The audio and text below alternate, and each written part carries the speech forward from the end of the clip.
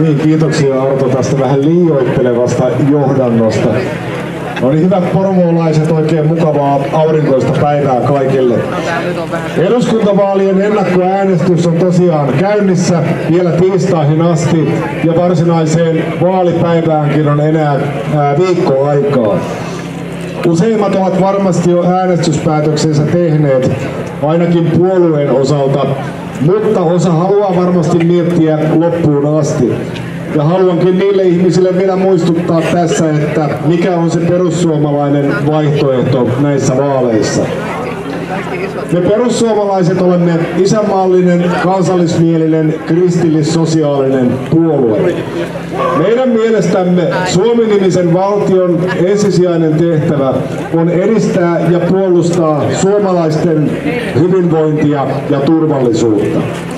Tämä on meidän arvopohjamme ja tästä arvopohjasta käsin me lähestymme sosiaalipolitiikkaa, ilmastopolitiikkaa, maahanmuuttopolitiikkaa ja kaikkia politiikan osa-alueita. Julkisen rahan käytön pitää olla vastuullista. Yhteiskunta ei voi loputtomasti rahoittaa perustoimintojaan velkaa ottamalla tai kansallisomaisuutta myymällä. Päättäjät ovat vastuussa paitsi nykyisille, myös tuleville suomalaisille. Koska menoja pitää väistämättä karsia, asioita on pystyttävä panemaan tärkeysjärjestykseen. Jos yhteiskunnalla ei ole varaa pitää huolta esimerkiksi tieverkostosta tai rahoittaa peruskouluja ja toisen asteen koulutusta, palkata riittävästi poliiseja tai pitää huolta vanhuksista.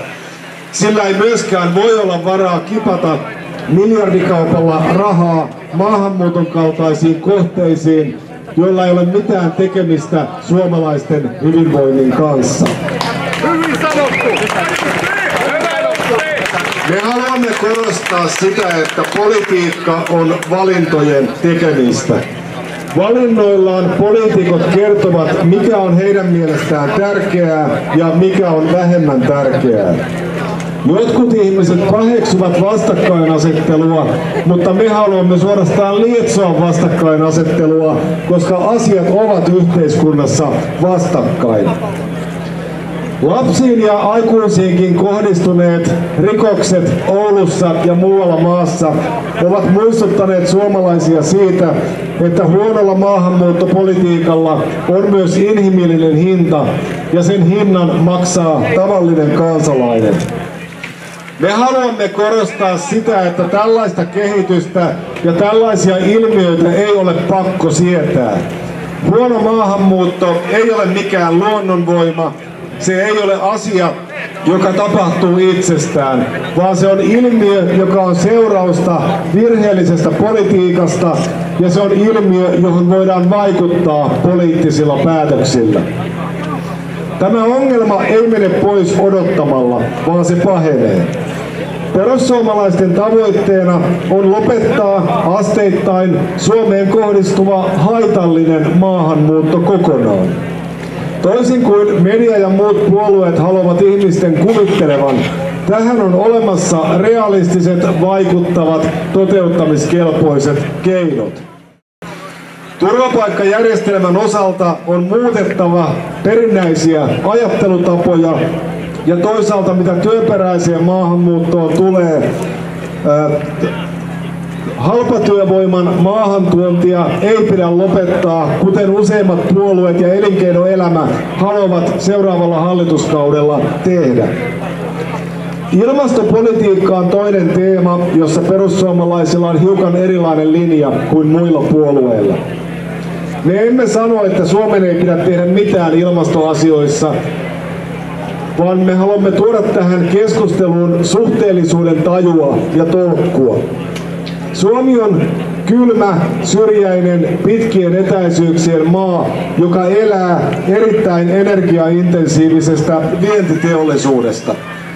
Meidän, meidän kantamme on se, että Suomessa pitää tulevaisuudessakin olla mahdollista asua, elää, tehdä tuottavaa työtä ja liikkua.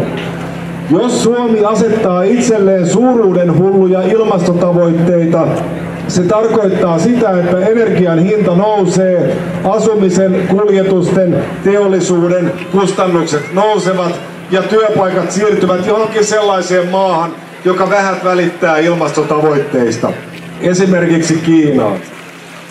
Näissä vaaleissa tehdään lyhyesti sanottuna valintoja sen suhteen, kenen asialla julkinen valta tulevaisuudessa on. Jatketaanko rahan kippaamista toissijaisiin kohteisiin, suomalaisen duunarin ja PK-yrittäjän kyykyttämistä ja ilmastohysterian lietsomista? Vai keskitytäänkö taas siihen, mikä oikeastaan on suomalaisen yhteiskunnan perustehtävä, eli tavallisten suomalaisten ja suomalaisen työn puolustamiseen? Asioita voi muuttaa äänestämällä, mutta silloin pitää äänestää muutosta. Täällä on minun lisäkseni erinomaisia perussuomalaisia eduskuntavaaliehdokkaita Uudenmaan vaalipiiristä. Käykää haastattelemassa heitä ja etsikää itsellenne sopivaa äänestettävää. Kiitoksia ajastanne ja toivotan oikein mukavaa päivää ja jännittävää viimeistä vaalien alusviikkoa. Kiitoksia. Hyvä Jussi, Jussi, Jussi. No niin, kiitoksia.